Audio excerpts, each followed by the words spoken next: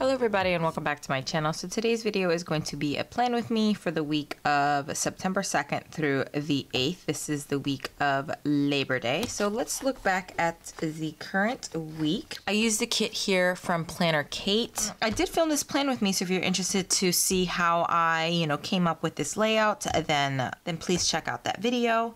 So this week has been pretty busy. I had my orientation on Tuesday and then I actually went into my school. So I met my intern on Thursday and I also went in on Friday. Today's currently Saturday, so I am filming this plan with me a little bit late. I am going to have to uh, shift my filming schedule probably to Friday. So today I am going to try to go um, bowling with some friends. I need to go grocery shopping and then on Sunday I have my um, my planner meetup. So let's take a look at the kit that I'm using. I already pre-planned for this week. I'm going to be using a kit from uh, Planner Gems. This is called School Life. It is on a glossy paper. I'm sorry, you guys. I'm a week ahead of myself. This is for the week of the 26th to the 1st. I thought it was weird because I know Labor Day is like a good bit away. This is back to school week for me, so I am going to be going back to school. My classes start up on Wednesday. So this is a pretty big um, kit. I don't think I'm gonna have to pull much in. I am going to be pulling a few like foiled overlays, um, but for the most part, I'm going to be try to use everything that comes in this kit, except for maybe these checklists here, these check boxes here. And the foiled overlays that I'm going to be using are from Scribble Prints Co. It's this really pretty like pink. I call it pink because I think her rose gold um, is more of a pink than it is an actual rose gold. Um, I also have these little flags here from Planner Gems in case I run out of any boxes. I have some glossy pencils here, some little palm clips, and some bow clips, and then some foiled bow clips, all from Inky and the Brain. Like I said, I already pre-planned and pulled in my icons, but in case I need to mark anything, I like using these clips to just kind of mark anything. So yeah, this rest of the video is going to be a voiceover, and I hope you guys enjoy this plan with me. Can you guys believe that it's already the end of August and that it's back to school week? It's September. We pretty much have like what four months left in the year. I'm actually really excited about starting a new planner. My new planner uh, starts in 2020, and I'm going to be trying a vertical planner. I've used a horizontal planner for so long, so I'm pretty used to you know the horizontal layout, and I've found my rhythm with the Erin Condren and for the most part, every single week, I do the same thing. I lay my full boxes down the same way.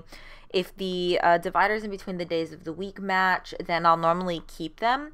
But if they don't, I like to use simply gilded washi or any 5 millimeter washi to kind of cover up and change the colors in between the days of the week.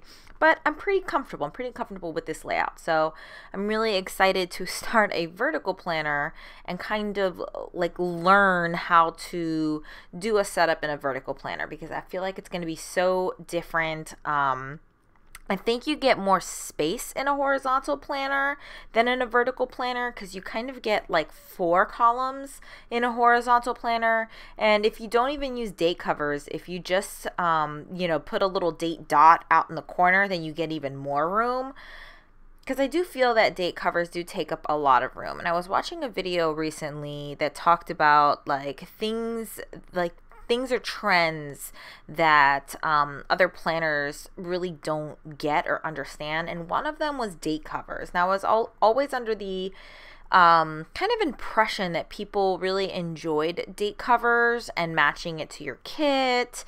I never really understood seeing like the month up top because I know what month I'm in and I I prefer or I enjoy knowing what day it is, like what the date is, because sometimes I forget, I forget what the date is, and a lot of things that I have to do, I have to put my date down. So for me, date covers are not just decorative, but they're also very functional. So the trends that I tend to not understand are things that are just purely, purely decorative and don't really have a function.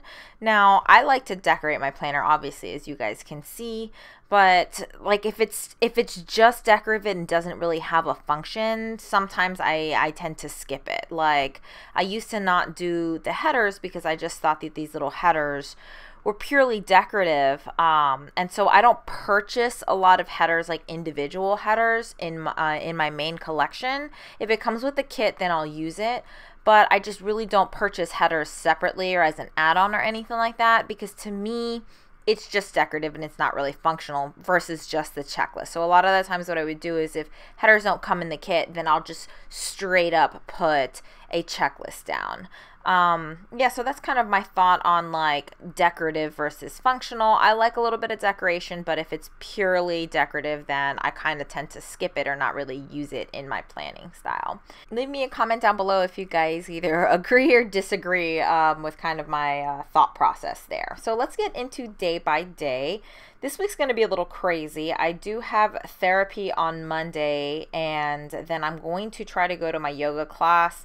I haven't been going to yoga either because I've had other appointments in the way of yoga, or I've had like orientations, or I've had to go to the school, or whatever the case may be. So I haven't been able to go. I wasn't able to go to yoga at all last week. So I really want to make sure that I'm able to go on Monday.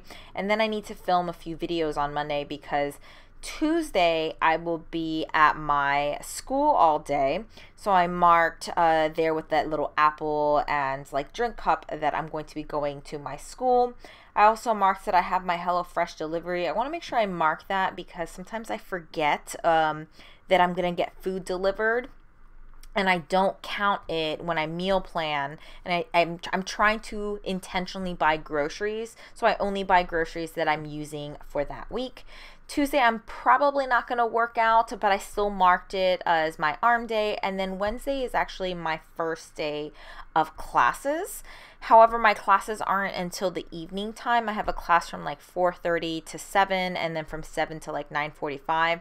So I'm still going to try to go to yoga at 9 in the morning on Wednesday. And then of course I marked cleaning my cat litter with this really cute um, scoop the poop sticker from planner, planner, polished patterns.